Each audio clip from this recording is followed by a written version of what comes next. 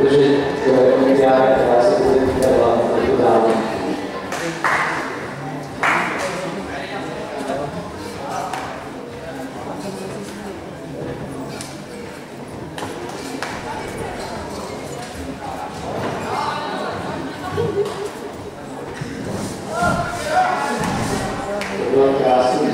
Thank you.